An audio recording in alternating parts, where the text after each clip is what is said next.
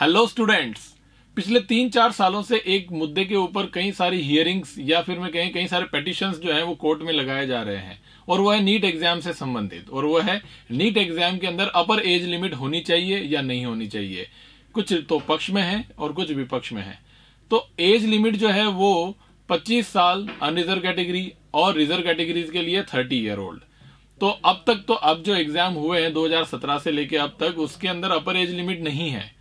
लेकिन कई सारे स्टूडेंट्स या कई सारा तबका जो है, वो उसके विपक्ष में है, वो कह रहे हैं कि, सर, ऐसा मत करो। अपर एज लिमिट जो है, वो रखनी चाहिए और कुछ कह रहे हैं कि, रहने ही मत दो। तो ऐसे कई आर्ग्यूमेंट्स जो है, उनके बीच में आज सुप्रीम कोर्ट जो है, उस पर फैसला सुनाने वाला है कि नीट एग्ज़ाम में फाइनली अपर एज लिमिट जो है, वो कैटेगरी वाइज कितनी होगी होगी या नहीं होगी? तो हम सब उसका इंतज़ार कर रहे हैं। और ये इंफॉर्मेशन आपके पास में पहुंचनी चाहिए, क्योंकि आप नीट एग्ज़ाम देने जा रहे हैं तो आपको भी इस बात का पता होना चाहिए।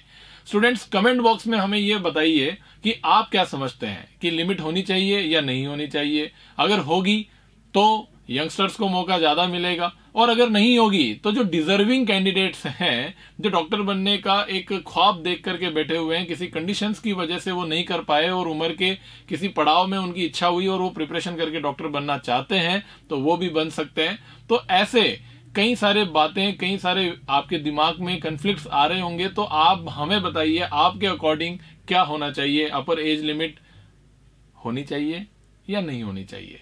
तो बिल्कुल आपके कमेंट्स का मैं इंतज़ार करूँगा और उसके ऊपर रिप्लाई करूँगा। थैंक यू सो मच ऐसे कई सारे इन्फॉर्मेटिव वीडियोस इस चैनल पर मिलते हैं आपको। उसके लिए चैनल को सब्सक्राइब कर लो और बेल आइकन प्रेस करके रख दो।